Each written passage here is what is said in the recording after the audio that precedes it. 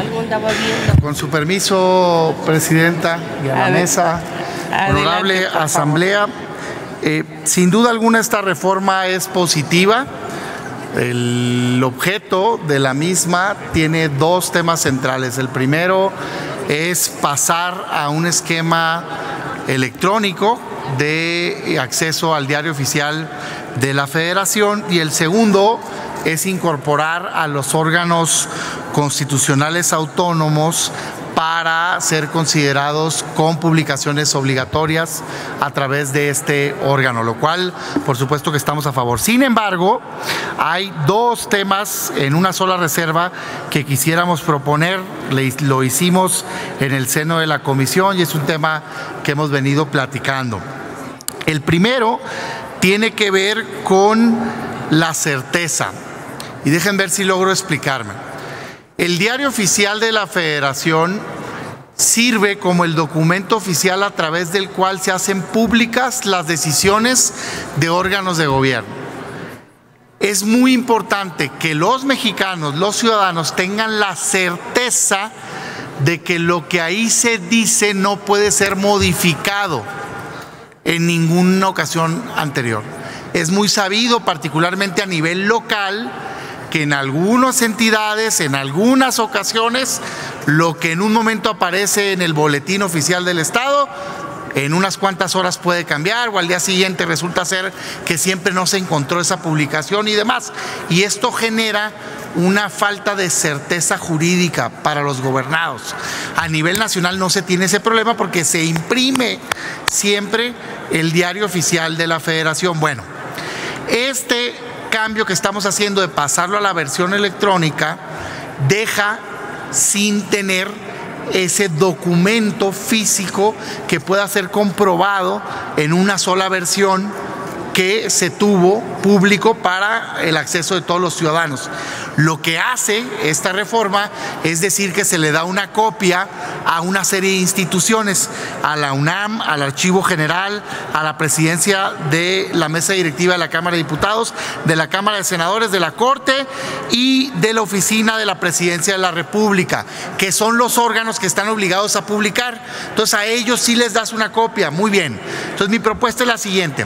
En un primer término, si se está ampliando a los órganos constitucionales autónomos para que estén obligados a publicar, que a ellos también se les dé una copia así como se les da a la presidencia, a diputados, a senadores, a la corte, a todos los que están obligados a publicar. Bueno, pues si hiciste obligatorio que publiquen los órganos autónomos, también dale una copia certificada al órgano autónomo para que tenga el documento que garantiza que su acto fue publicado. Esa es una primera parte de la propuesta. La segunda parte de la propuesta tiene que ver con lo que les comentaba ahorita de tener la certeza de que no pueda ser modificado. Esa copia que se pone en la ley que va a ser entregada a los órganos debe ser entregada el mismo día que es publicado el diario pues para tener la certeza de que existe la versión electrónica que siempre puede ser modificable y un documento impreso, pues, a donde puede uno corroborar que está ahí la información pública que fue generada por el órgano en comento. El dictamen que nos presentan dice que el mismo día se le va a dar la copia a todos estos órganos. Pero el texto de la ley. Si me permite un momento, senador, le rogamos al Pleno y a la Asamblea que poner atención a lo que está planteando el senador Cepeda y le pedimos a los asesores que despejen los pasillos y que haya un poco de orden, por favor.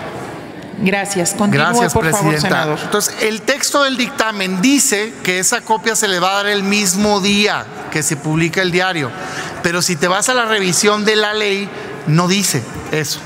Entonces la propuesta es que sea consistente la ley con lo que dice la explicación del dictamen que se va a hacer. Porque si bien en la explicación de la reforma lo afirma, en la ley no. Entonces no va a estar obligado el diario a darle esa copia física a todos los órganos. Y esa copia física es la que te da la garantía de que no se ha modificado ese diario. yo les pregunto, a ver, una resolución del Poder Ejecutivo, del Poder Legislativo, de cualquiera, que solo sea publicada por versión electrónica, puede ser modificada por la misma vía electrónica. No te da la certeza a ti ciudadano de que ya eso que está ahí publicado es lo que legalmente procede. Y ha pasado, o sea, en los estados ha pasado, hay muchísimas anécdotas de este que estoy platicando, entonces evitemos los huecos que permitan no dar certeza. Entonces, en concreto, ¿cómo se, se agota pues, esta falta de certidumbre? Con dos medidas. Primero, que se amplía los órganos constitucionales autónomos. Si van a estar obligados a publicar, dales una copia del diario. Pues es es elemental, así como se la vas a dar a los diputados, a los senadores, a la Corte, a los demás. Y segundo, esa copia dáselas el mismo día que publicas el diario electrónico, pues, para que exista un lugar en donde los mexicanos, por ejemplo el archivo, puedan consultar físicamente el diario. Entiendo el ahorro de no publicar miles de diarios, pero con seis versiones o siete u ocho, pues la verdad las cosas que lo puedes imprimir pues en una computadora, en una impresora, darle fe y haces un documento oficial y no representa ningún costo. Entonces, en concreto, esa es la, la propuesta que les hago y espero que pueda ser respaldada. Muchas gracias, presidente.